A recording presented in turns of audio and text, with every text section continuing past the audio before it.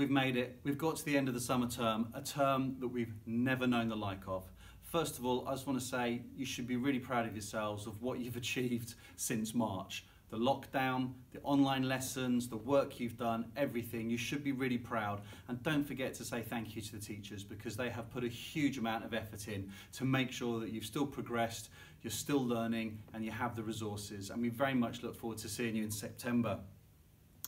There's going to be some changes in September, um, and I've written to your parents about that, and they'll discuss that with you. And when you come back in September, there'll be a number of days, depending what year group you are, where we'll be explaining to you all about the changes in September and how we're going to work. But the good news is you're going to have every subject that you normally have, you will have, and we really look forward to seeing you in September.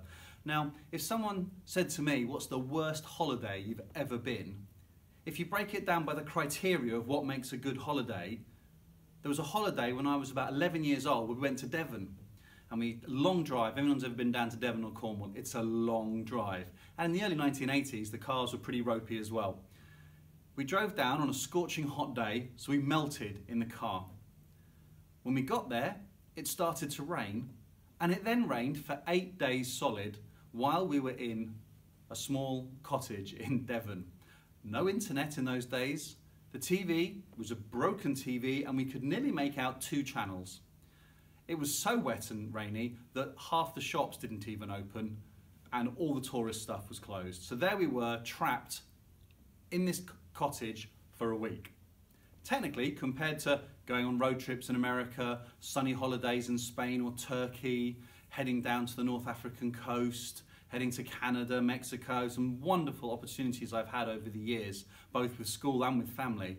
That should have been one of the worst holidays, but it wasn't. Because what we had to do is we had to make do. And we were trapped as a family in this cottage with no Wi Fi, very little television, a dodgy radio, and some old board games and ourselves. And do you know what? The laughs we had, how close we got together as a family, sits with me decades later. It should have been the worst holiday, but actually it wasn't. It was a fantastic holiday because we had to come together and make best a situation that wasn't good. What's happened recently is very similar to that. This has been a bad year. It's not been a great year. But what I want you to take away from this is you've had opportunities. You've had the gift of time, a gift of looking at things very differently, and you've had Wi Fi. We never had that. So when you come back in September, make sure that you had a nice reflection this summer on the opportunities that lockdown has, has given us all. The opportunity to reflect, spend more time with close family. I know our, our other family has been harder to see and friends, and now you're seeing friends, but it's been a real opportunity to think about what really means, what means a lot to us, what, what we should value in life. And that's what I want you to take away from that. As I said at the beginning, you should be very proud of what you've achieved. And you know when you come back in September, the teachers will make sure that you are all okay and moving forward. And of course, we look forward to our new Year 12s and Year 7s that will join us as well. So take care of yourself this summer. Normally, I'd love to show you PowerPoints of sunburnt people and some funnies. I can't do that today, and I can't wish you all the best personally. But from me, thank you for everything you've done.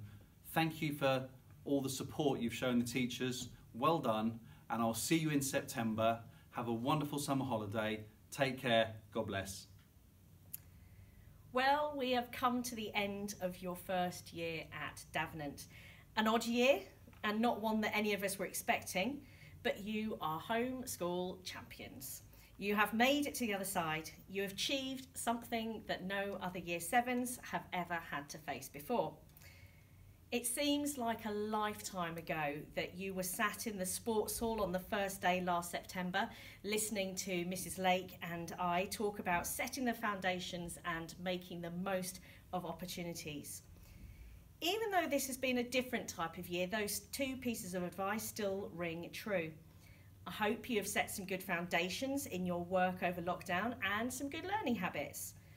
But I also hope that you've made the most of opportunities whether that has been virtual ones or something that you have done at home with your family baking, walking, crafting, reading, and much, much more. Life needs to be seen as one big learning opportunity. Always grab life with both hands. Some of you will have liked this lockdown period, whilst for others it has been one of the biggest challenges you have faced. For those of you who have seen this as more of a struggle, a difficult time, a sad time, you are still a champion. You have made it to the other side and you have developed a resilience that you probably didn't know was possible. As you come to the end of this year, I want to leave you with some words from my favourite poem and some words from the Bible. So, firstly, in the words of Dr. Seuss, you have brains in your head, you have feet in your shoes, you can steer yourself any direction you choose. You each have great potential, whether you realise it or not. You just need to use it wisely. The second thing I want to say to you is that when you do choose your direction, you won't go alone. God will be with you. In Isaiah 43, it says, and this is the message version I've called your name, you are mine. When you're in over your head, I'll be there with you. When you're in rough waters, you won't go down. When you're between a rock and a hard place, it won't be a dead end, because I am God, your personal God, the Holy of Israel, your Saviour. I paid a huge price for you. I wish you all the best over the summer holidays and I look forward to seeing you flourish as you go on through the school. All the best. Uh, good morning, students. I hope you and your families are well. Um, I can't believe it's been so long since, we were together last, nearly four months when we all sort of said goodbye at the end of March. Uh, and lots happened in that time. Uh, as you can see, I've grown a beard uh, and uh, shot quite a few people that I grew some hair actually. So uh, I grew some hair over a couple of months, but um, recently pleased to say that I've taken it all off again. Um, but like I said, a lot's happened over that time through homeschooling, the online lessons, exams, and it's been a real challenge for all of us. Uh, and one that we're all going to overcome together as we look forward to welcoming everyone back in September. This morning is a sad time for me personally, as this will be my last time talking in Assembly, as I'm leaving Davenant at the end of this academic year. I joined Davenant way back in 2001, uh, and it was never my intention to stay all that long. I originally planned to go back to Australia, um, but I stayed um, and found that Davenant really is a truly special place. And over the years, I've worked with some of the most amazing teachers who really care about the students that have come through the school. Uh, they really do care about all aspects of the students. Uh, it's making sure that we nurture mind, body, and spirit, like we talk about. I've made friends, lifelong friends. Uh, I've met my wife, uh, got married, and uh, now my children are hopefully coming through the school as well. And I will always cherish that Davenant has played a part in a significant part in my life. I've travelled the world with Davenant, telling everyone in all corners of the world how amazing it is and how amazing you, the students, are. And I'm really grateful that a number of you are going to get the chance to go to Japan in 2021 to see the Paralympics. A real testament to the commitment of the, of the school to get involved in something and maximise the potential for our students. That's one thing that really stands out about this place uh, for me. You students are provided with so many different opportunities and my advice to you is make sure that you take up all the all the opportunities that you're offered because you never know where they'll take you. When thinking about what to say to you in this final assembly, my final assembly at the school, I thought long and hard about what I would talk about. And I kept coming back to the visions and values of the school. And I want to go through them with you. So the first one is compassionate, encouraging you to show concern for others whilst displaying kindness and honesty. The second one, determined, the desire to succeed in school and life with energy, commitment and diligence and showing persistence. Being open minded, the willingness to be quick to listen and slow to speak, accepting each other's differences and new ideas. Respectful, uh, to show fairness and consideration through acting in a thoughtful and understanding manner. And then finally, inclusive, displaying tolerance and acceptance of different religions, different denominations, races, age, abilities, and sexuality.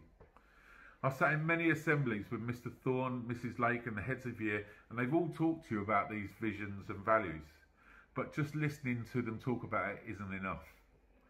Every member of our community, from the youngest member of year 7 to the oldest member of year 13, from the lunchtime staff, the site teams, the teachers, the support staff, the pastoral leads, the pastoral heads of year, and the school's management all need to do more than just talk about the visions and value. We all need to live the visions and value in all aspects of our lives. I'd like all, all of us, every one of us, to reflect on these values today and take a long, hard look at ourselves and see if we're living these values that we like to talk about day to day. Some of us may have some work to do. It's only if every single member of this school community does this that we can live out our founder's dream after Ralph Davenant, Reverend Ralph Davenant, established the legacy to establish this wonderful school. I finally like to just say I'd like to wish everyone all the best for the future. Take all the opportunities that come in your direction and make sure that you live out our founder's dream. Take care and God bless. Hi, I just want to say hello and add my message of we've missed you to all the messages you've had already. School really isn't a place for there to be no students. It's really weird being here without you. I hope you've made the best attempt at lockdown and I hope you've had actually some good times. Um, you'll be talking about this for years. This is going to be a key moment in your life as it is in ours and it's going to be something that we will return to time and time again. Anyway, I pray and that you've managed the work and I hope that that hasn't been too onerous. I know your heads of year have talked about resilience in that time, but whatever you've done, well done. I thank you as well for giving help to your families and your friends and also to strangers. We've had some lovely messages and comments about you being fantastic, little Samaritans all over the place, supporting your community. And I just want to congratulate you on that. We've had some amazing photographs of you stepping up and taking on Mr. Thorne's challenges and some really funny videos of some of those challenges being completed. I've also enjoyed every Friday seeing the mouth-watering cakes and puddings that you've been creating, but sadly I wasn't able to taste them, so just marking on the way they look, the aesthetics of them. I also hope you've kept in touch with your friends. They've gone through exactly the same thing as you have at exactly the same time of life. And you will be the, the sources of compassion and comfort to one another. And I hope you've been that and will continue to be that.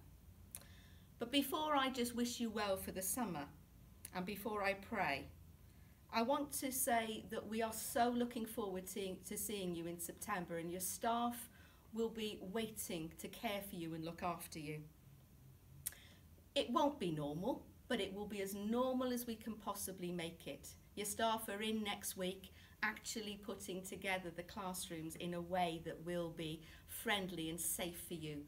But thank goodness the plan is that we will all be back together again. So in closing, the Bible says that when life gets tough, God is in it with us. And I have a favourite song that captures that.